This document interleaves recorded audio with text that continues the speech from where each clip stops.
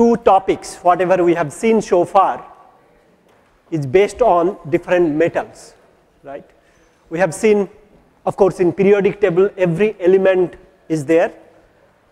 In the last topic, which was the extraction, there we particularly see the metal complexes or you know, ores in different oxide forms, sulfide forms, and so on. In this one, particularly we are going to discuss about the transition metals and transition metals only because they do have d element, uh, they are d block element and they have either full filled or half filled or you know partially filled d orbitals and thereby their chemistry is usually something what's called very exciting compared to all others okay so chemistry of transition metals we will be discussing in this we will be particularly focusing on these theories. Okay? Werner coordination theory, 18 electron rule, valence bond theory, crystal field theory, not too much perhaps on molecular orbital approach. Also we are expected to learn high spin, low spin complexes, spectrochemical series, crystal field stabilization energy, Jahn-Teller distortion and finally about the spinels. So these are roughly the topic I am going to cover today. Okay. I will start with Werner coordination theory. Okay, I, I would like to take you let us say more than really you know 100, um, 120, 30 years back what chemist was thinking. That time of course right now we see the book books are well written because a lot of studies has already been done over last 100 years, 150 years. If you just look back, forget that there was almost very little understanding at somewhat like 150 years back. In that perspective, if you are looking at right now, you may not be able to appreciate the importance of this contribution, Werner coordination theory. You have to really look back at least 150 years or so. What that time was known very simply is different complex can be formed, but how they are forming, what they are forming, what type of compounds they are, and why the colors are coming shows these important information although were there, but then it cannot be explained. Okay. So for example, over here, one of the one of the instance where we see cobalt chloride reacting with ammonia under aerobic condition. What we are seeing essentially is cobalt chloro or cobalt chloride with different equivalent of ammonia can be incorporated. From same starting material depending on the reaction condition, how much ammonia you give, how much heat you give, what solvent you use, let us say a lot of different parameters are there, but the starting material remains same. What people have observed is you can form different color complex. That time what it is forming people did not know. They all knew that different species are forming based on their color. Okay. This is where Werner came in. He tried to first time give an explanation what might be happening in there. Why from same starting material we are trying we are getting different compounds or what type of compounds they are. Okay. So of course that time lot of things were not really established. X-ray crystallography, spectroscopic, other techniques were not simply there. Okay. So all people perhaps can rely on is whatever is known before and based on that come up with some sort of theory. That's what we are trying to say. So what was known before is ammonia and HCl can react to give ammonium chloride. Okay. What they are found that these compounds, they don't know what type of compounds are they, but they know that they are different color and different equivalent of ammonia is there. Okay? Now, if you look at this reaction, cobalt chloride plus HCl, simply there is no reaction. Okay. If ammonia was just there as if like just free ammonia, with HCl you are expected to get this reaction. But with these complexes, none of these four complexes, for example, did give ammonium chloride. So it's definitely not, the ammonia is definitely not present in free form. That's the first conclusion, right? So it's not just ammonia gas sitting in the complex. It's something has happened. Again, I'm talking about 150 years old, you know, discovery. Now, what they tried to do, this is a known reaction which is known for long. Silver plus, if you add to a chloride solution, you will get silver chloride white precipitate, which is something I guess right now you are very familiar with or have done some experiment. So what they have done is, they have taken the first compound, orange yellow one, let's say, and they tried to add silver. Now you can quantify how much silver chloride is formed. They have quantified that three equivalent of silver chloride is formed. So all the three chloride are accessible for silver plus. Okay. Now they have done the same experiment, let's say with this one, purple one, and they found that with silver plus, only two equivalent of silver chloride is forming. Although three chlorides are there, only two chlorides are accessible. That is how you can clearly see between first and let's say second compound, you already having some sort of discrimination. Three chlorides are accessible, only two chlorides are accessible. Okay. Now you keep on doing it for other compound, what you learn is, let's say for example this one, you can get only one silver chloride, one equivalent, okay. For the first one it has three, then two, this one and so on. And then what you do is, you try to do the conductivity measurement. Conductivity measurement tells you how many ions are there, how many cation, how many simply how many ions are there. For the first case, they found four ions, three ions, four ions, and two ions. So how many ions are present in that colored species you can kind of count. Okay. So conductivity measurement gives you that. Now this is where the brilliance, I think the, you know, when nothing is known, from out of almost a black box, this guy Werner come up with some theory. And that is what very simply what you know kind of is a coordination compound or the secondary coordination sphere. What he is trying to say is there is a metal in the center and these ligands so called let us say chloride, ammonia, they are coordinated with the metal center. That is the first coordination sphere and the outside whatever else is left that will be outside, those are accessible. The one which are with the metal complex, those are kind of not accessible.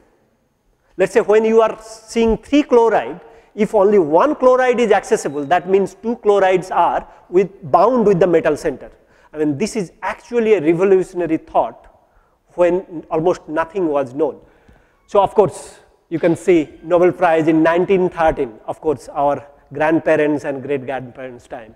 But it's, it's really, really a classic, you know, understanding or classic idea, theory that kind of, I would say, redefined the whole understanding. People didn't have any idea what the complex is, how it forms and so on. So if you now try to look back, everything falls into place. All those conductivity study, all those silver experiments, silver nitrate or silver you know, whatever salt experiment. So 3 chloride can be precipitated, 3 chloride can be precipitated, 2 chloride can be precipitated, 1 chloride can be precipitated because those are not directly bound with the metal center. On the other hand, if you look at this is 2 ion, 1 cation and 1 anion. So 2 ions conductivity measurement will give you 2 ions. This one 2 anions and 1 cation, whole thing is 1 cation, right. So it is 3 ion, all those things now you look back, the simple experiment now can be you know kind of explained by this. Of course, that guy deserved the Nobel Prize, no doubt back in then. Of course, now you, you try to come up with something like this, it's not going to dent anything. Okay. now, so that is what a metal complex should looks like then, like what Werner tried to say. You have a metal center, ligands, this ligand could be same ligand, different ligand, combination of different things, but it should be coordinating. So this is the main coordination sphere. So 2 plus means overall this whole thing is having 2 plus. So manganese could be 6 plus, but if some negative charge are there, they will neutralize it, right? Just like in the last place. let's say over here, cobalt is 3 plus, but two chlorides are there, so cobalt overall this ion is 1 plus. Okay. Now you know what is metal ion, what is ligand. The basis, uh, the ex explanation or the definition is given. Ligand is the one which is attached and usually it's a Lewis base. Okay. The Lewis acid is the one which is the metal at the center.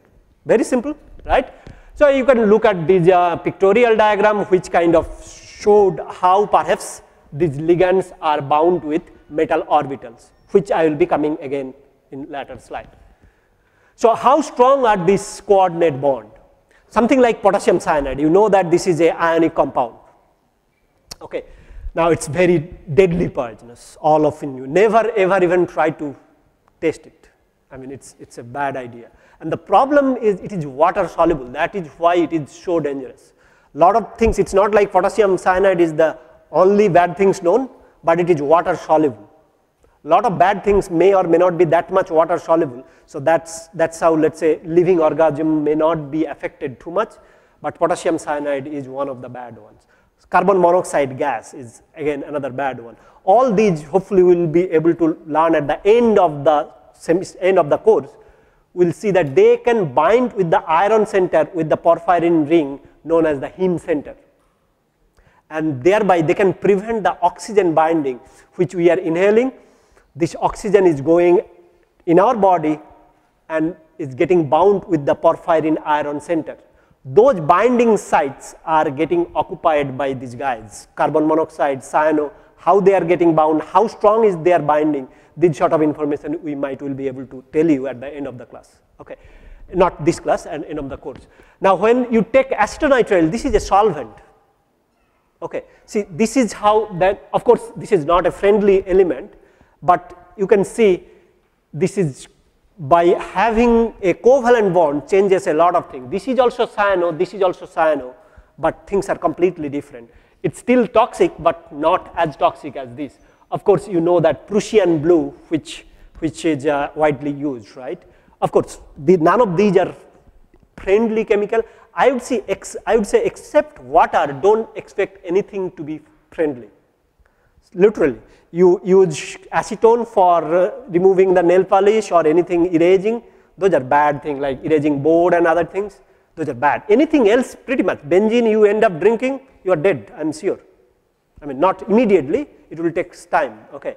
So none of the chemical I would say is friendly, or maybe sodium chloride, but not from the lab, but at home, okay, that's fine. But do not ever try to experiment with any chemicals without knowing their properties first of all and do not consume, do not touch physically, do, do not smell directly or do not definitely do not you know consume okay that is going to cause something if not today maybe 10 years down the line. See some sometimes some poison works over the long time. So Napoleon Bonaparte for example is believed to be you know believed, believed to be murdered by arsenic poison so, and not over, so every, I mean, uh, I'm forgetting the exact story, every day, let's say with, with the meal or whatever he was consuming, some amount of arsenic was given to him by the loved ones, I don't know who. Um, and over time, he has consumed enough arsenic. Of course, arsenic is going to, and those are painful deaths sometimes. I mean, not only these, there are, there are even painting, some of the painting uses some of the deadly chemicals which a lot of lot of things are there. Even let's say you know in car garage you see in the movie, right? You in, you go in a confined place in a small room with the car on. You keep the car on. That's one of the way to do suicide. You should not follow. It's painful. Uh, it's not painful, but it is in movies at least they show, right?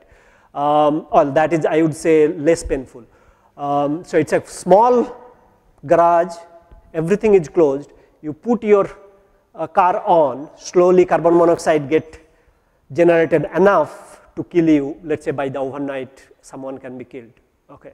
But of course, with the type of murder we are seeing nowadays in the news, I don't think I need to make you aware of what bad things can happen. Anyway, um, you should, the main point I'm trying to bring to you is simply chemicals are dangerous. Please do not play with chemical and do not abuse the chemical, specifically not to other human being or other living things. It is bad. You know, sometimes people have idea to kill a tree with some chemical. Those are the bad ideas. Okay, and you fight with someone, you see a lot of stories here and there. So do not abuse chemical. Let me go, go forward. So, for example, this the same thing what I was showing. See how different the color could be depending on the where the anions are or how the compositions are. It's exactly same compound. If you see formula wise, cobalt 3 chloride and 6 ammonia, but completely different color, thereby completely different compound. Same formula, but completely different compound and giving completely different colors, right? Of course, in physics, you have learned how the color we perceive and how what happens, wh why you see this is white, something is black, something is orange, something is blue. You just try to refresh your memory from that perspective. So very briefly, if all the colors are consumed or absorbed by some, some compound or some species that you are going, that species is going to be black in color. If nothing is absorbed, that's going to be white in color, for example. And uh, you know, sometimes there is a, of course, there is a complementary color. Then uh, you know, let's say, for example, if blue is just ab absorbed by some species, all you are going to see is orange.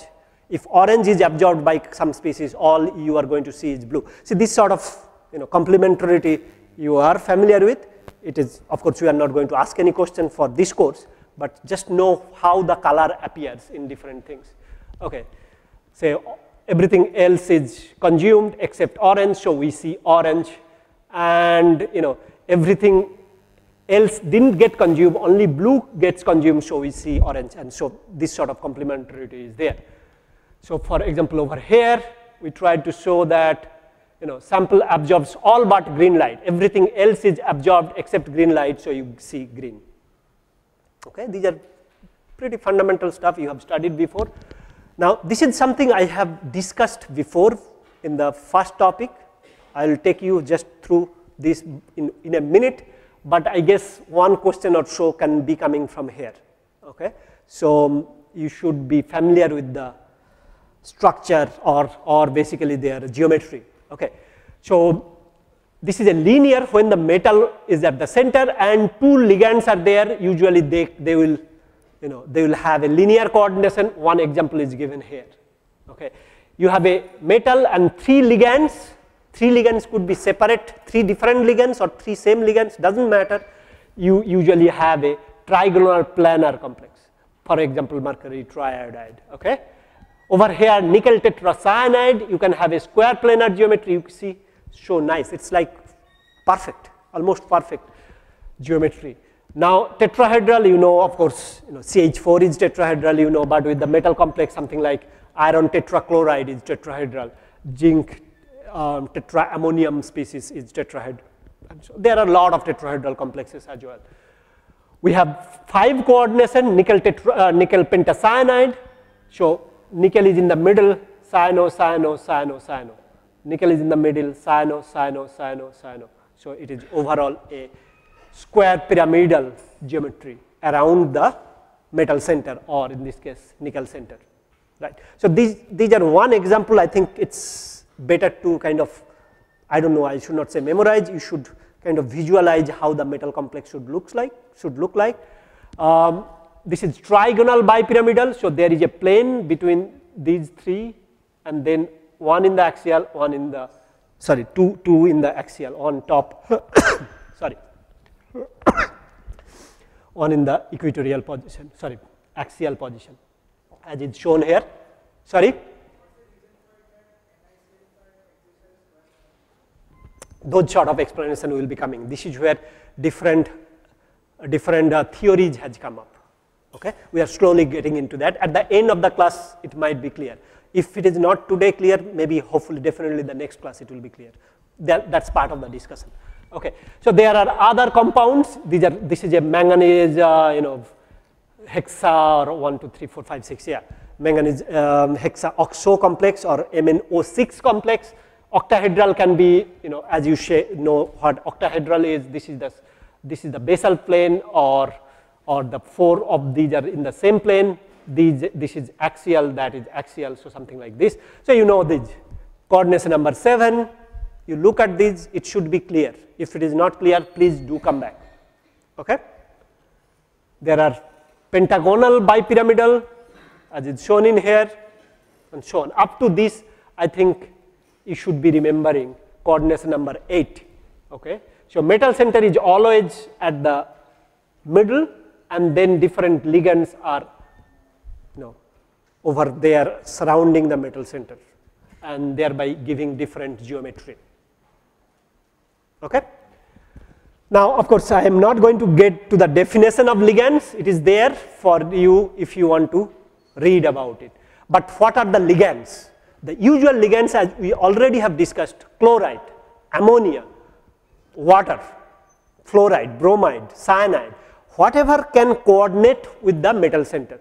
Usually it is a negatively charged species or it has a lone pair, heteroatom, right. Nitrogen is a heteroatom, oxygen is a heteroatom, sulfur is a heteroatom. So any species with these, sulfur let us say thiol, SH or alkyl sulfide like RS minus, OH, O minus, O2 minus or alkoxide RO minus, any let us say CH3O, methanol like methoxide CH3O, anything that has heteroatom, anything that is negatively charged can bind with the metal center, those are the one is go that going to be the ligand. Okay, some of the ligand just binds with the metal center, just donates. Actually, some of the ligand can extract out even electron from or back donation as we see. Let's say CO. Carbon monoxide has a that with the lone pair with the carbon it gives to the metal and also it can have the back donation from the metal.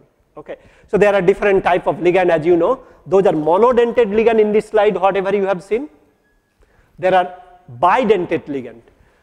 So, as you see the ligand itself is this part, it is coordinated with the metal center at two points. Okay. So,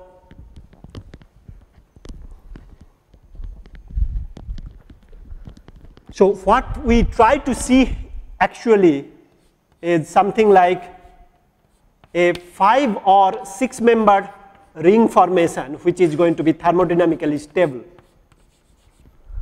Okay. All of you can see it. So, I hope most of you can see. See this is the metal center, the coordinating atom, coordinating atom. Two coordinations are there or two coordinating atoms are there right. So, these are the donation, lone pair is donating, donating. Overall you see 1, 2, 3, 4, 5, it is a 5 member ring formation which is going to stabilize it, the metal complex. It is like a chelator, it is just like you are going to hold it. You, hold, you are holding by one hand is not going to be that strong, monodentate ligand in the last slide, right. These are one which are going to hold it by one hand. And these are the one which is going to hold the metal center with two hands. Okay. And if it is, if the ring is too big, of course, if a very long, I don't know, I mean, not a man, but something, it's a very big rope and tied together at a point is not going to be stable compared to if you have a five or six membered or seven membered ring those are going to be more stable. 5 to 7 membered rings are usually more stable, right. So, for your bidentate ligand, usually you see 5 to 6 membered ring formation. This is ethylene diamine forming 1, 2, 3, 4, 5, 5 membered ring. Oxalate binding with the metal center with 2 oxide or O minus in a 5 membered ring. 1, 2, 3, 4, this one will also give you 5 membered ring. Now this is what going to bind with 1, 2, 3, 4, 5. It is a penta-coordinated ligand. Here it is a bidentate ligand, it is going to bind with the two ends. Now the EDTA will bind 1, 2, 3, 4, 5, 5 centers. So you expect the EDTA coordination with the metal will be extremely strong that is actually is used in a lot of cases. When you have no idea how to do, you just add EDTA for example, I mean chemistry sense, it will extract out the metal center. It's almost like stripping off. It will just pull off because the coordination is so strong, 5 coordination. Of course, sorry, sorry, 1, 2, 3, 4, 5, 6, sorry, 6 coordination, that's right, 6 coordination. Okay. So it's, it's going to be a multidentate, so that's why the multidenticity as the almost uh, truly multidenticity increases, you will have a very strong binding, right? EDTA is, yeah, sorry, 6 coordination. Now, of course, you can have tridentate, this is bidentate. If you add, for example, over here, another pyridine, this is called terpy, you can have terpyridine. Of course, you can add perhaps it may not be that extremely stable, but it is stable very good.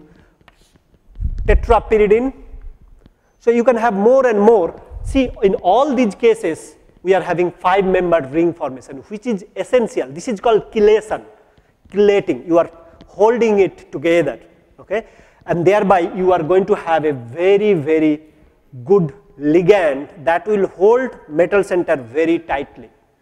Of course, this tight binding, strong binding, weak binding will come back again. High spin, low spin perspective we will we'll discuss today. Okay, self-study I will not discuss. This is the isomerism part. I think in the Moodle you have you are given enough information on it. So you just study about the isomerization in these coordination complexes. What type of maybe I think one question usually expected from this part. Maybe one mark question. Okay, on isomerism. Now variable oxidation state we briefly discussed in the first class. So understand why variable oxidation state exists and which are the one, some of the informations are given here. Okay. So as you can see from scandium to manganese, let's say this variable oxidation state increases and up to 7 it goes and after that it decreases further. If you go down in the periodic table, you will see higher oxidation state gets stabilized more often. These are the things you have studied before, refresh your memory again, and informations are also given here, over here. Now, in terms of theory, we have discussed Werner coordination theory. It's a simple theory, 1913 Nobel Prize, let's say we understand by now at least. Next theory which came up or which was, let's see the, what happens, you know, chemists are working lot of different theories going to come. But if it is going to test the success, then it has to be a good one. It has to explain a lot of things. Of course, no theory is going to be self-sust or you know, no theory is going to explain everything correctly. But as long as it can explain quite a good number of things, that theory remains with the scientist in the book. One such theory is 18 electron rule. Again, this is a rule, empirical rule. It's not like God given rule, okay, and compound follows. Compounds are there, then scientists figure out that there is a rule which maybe looks like 18 electron rule. What is it? Simply it tells you those ligand metal coordination when you do, as we were showing, if it is forming a 18 electron valence electron, total count is going to be 18 electron, then it is going to be a stable complex. In other way around, so let's say you have a metal, whatever, cobalt. How many ammonia you will add with cobalt? You keep on adding whether you add one ammonia or two ammonia. I mean, you, let's say you, you take cobalt salt and you add ammonia or cobalt ion, let's say you have taken, and you add ammonia, excess ammonia, a lot of ammonia you have added. So up to how many ammonia one particular cobalt center will have? one ammonia, two ammonia, you keep on counting. Let us say this is where cobalt 3 plus, cobalt 3 plus means it is a D6, D6 system, okay. So D7S2 or total 9 electrons, valence electrons and 3 goes out, D6. Now the rule says 18, each ammonia can give you 2 electrons Okay, so how many you need? 12 more electrons, so 6 ammonia. So cobalt 3 plus will have hexa ammonia species or ammonia ligand. It's not 1, not 2, not 7, not 9, not 10. So what you see for a large variety of complexes, you will be able to understand the formation of those species by keeping 18 electron rule in mind. But the next caution definitely comes within it, it's not going to be universal. It's not like if it is not 18 electron, it's not going to form. It's not. There are up to 16, 14, 15, I mean, no, 12, all species, 12 electron species are stable. You know, these, some of these species you can get it rock stable in air even. It, nothing happens to it. Okay. So it's not the ultimate rule, but I would say it's a very good percentage of the complexes you see can follow this rule or you can explain the complex formation by following this rule. That is simply is the 18 electron rule. So you should be able to count the electron based on based on this 18 electron rule or what happens to that. So you again read up nickel tetracarbonyl. Nickel is what?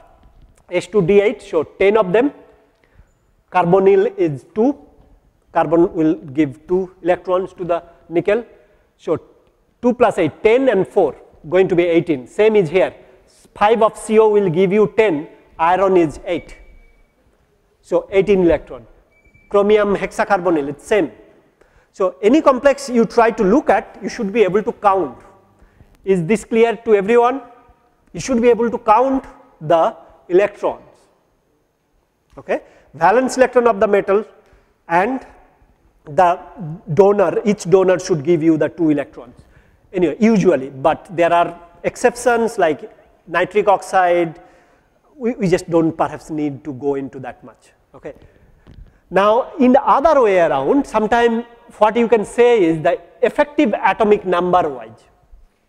So, what we have so far taken for the metal is just the valence electron. Instead of valence electron, if you take the total electron, all electrons present, for example, chromium, chromium has 24 electrons and the carbonyl, 6 of them, 12, 12 plus 24, it is going to be 36. These are going to be the nearest noble gas configuration.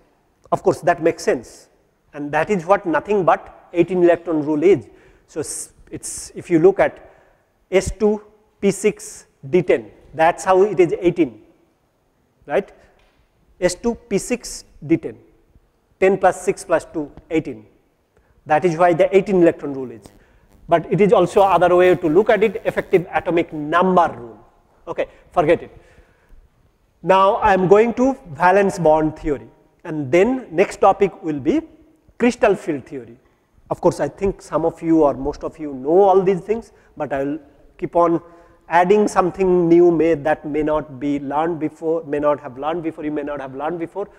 So valence bond theory, I will not get into the definition, see those are for study purpose, you study, I will just explain what it is.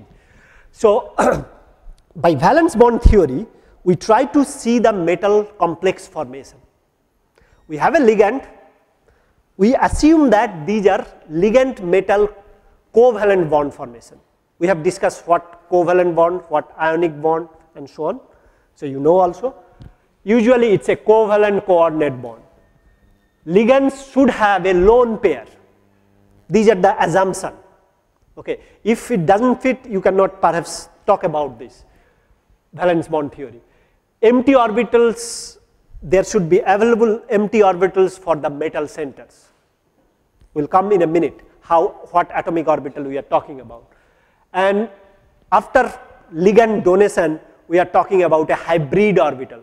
So you know that metal is there, there is orbital, metallic orbital, especially let's say if you are talking about 3 valence or I mean, sorry, principal quantum number 3, you have 3s, 3p, 3d. Not all of them are going to be completely filled out for most of the cases. So 3s, 3p, 3d specifically 3D and 3P, these are available for binding with the ligand. So, ligand can give their two electrons into those orbitals, atomic orbitals. So, this is what valence bond theory is. ligand lone pairs or those electrons can be donated into those p or d orbital let us say or up to s orbital as well. If it is vacant of course if it is filled you cannot. Each of them can have let us say s can have total 2 p can have 6 d can have 10 of course there is sub level of okay. Now that is where those after formation we will get the coordination bond Okay. Now, the moment we will give you the ex, uh, examples, it will be more clear. But what we are trying to say is the positive things about this approach is you can understand the shape and stability of the complex. What shape it is? I was showing you, you know, linear, square planar, or not square planar, linear, let's say, or you know, trigonal, so on. Different shape you can say, but geometry usually it will be little difficult for most of the cases. Definitely you, you cannot get the, you know, the color, information about color and temperature dependence of magnetic properties which we will be discussing, color and temperature dependent. So, although you can get the coordination, what type of coordination it is, hybridization as well and most likely you can also tell the shape or let us say linear, trigonal, square pyramidal, yeah, tetrahedral and so on, but more than that you will not be able to say. You cannot be able to get deep. You cannot understand in deeper sense. This is the limitation. Of course, what happens is slowly theories has evolved. Since all the information we cannot explain by this valence bond theory, next step which people accepted is the crystal field theory. But this development of crystal field and valence bond theory has occurred you know quite simultaneously, almost simultaneously. Still we teach this valence bond theory because it is so easy to understand. It's the first thing you kind of remember. Okay, let me look at it. So you have seen something like this, cobalt. Cobalt is D7H2, cobalt 3 plus will be 3D6. So those D6 are going to be occupied over here, 2, 1, 1, 1, 1. 6 electrons gone. What you left up with is 4s, 4p and 4d orbitals. So those orbitals are having suitable energy that is important. Suitable energy so that ligand electron can be donated. If those orbital energy are too high or too low then they are going to be a problem. It has to be somewhat closed orbital where ligand can interact. Okay. So these orbitals are available. You have six of the ligands, one, two, three, four, five, six. So the hybridization is going to be S P3 D2. Okay. You have seen how the name has come S P3 D2. Okay. Now you look at other conformer possible. This is going to be the high spin situation where spins are maximum right. Here 4 unpaired electrons are there. There could be another scenario when you can have all these electrons paired up and you can have 2 of the D, 1 S and 3 of the P involved in compound or complex formation or coordination bond formation. Okay. So, this scenario will be called D2 sp3 you have studied it before most likely, right. Now, of course, this is the one which we are saying that it's a outer sphere complex, it's going to be the, uh, I mean the ligands are going to be labile, this is a high spin complex because the spin you see is 4 unpaired electron and here we do not have any unpaired electron, so this is going to be paramagnetic. Over here it's the inner sphere complex, you say these are less reactive, low spin and diamagnetic. Clear? Diamagnetic means no unpaired electron in the complex. Low spin, spin is minimized. This is high spin. This is less reactive in inner sphere complex.